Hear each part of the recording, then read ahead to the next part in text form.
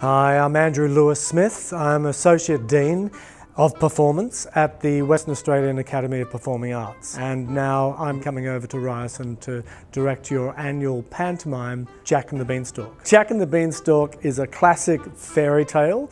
Um, it appeals to uh, it's mainly aimed at children, but I think it also appeals to the child within us all. Lots of humour, um, there's gags and there's slapstick, there's a quest, there's a love story, there's um, lovely animals who relate to their owners. Everything you'd want in a, in a production, lots of songs, lots of dance, so lots of things to enjoy and we celebrate that sort of Christmas annual pantomime and bring a lot of spirit in.